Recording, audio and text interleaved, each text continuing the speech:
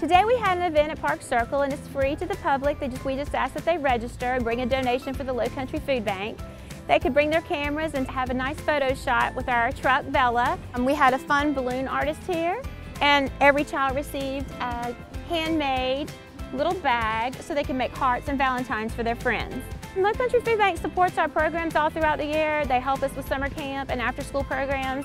And even though those things aren't happening right now, the need is still there and the families are still there, so we were trying to give back to them. There's lots of happy families here today. Happy to be outside, I think, happy to see other kids. We were very distant, but they did get to see some friends waving at each other, missing each other. Happy Valentine's Day, North Charleston, from the City of North Charleston Rec Department.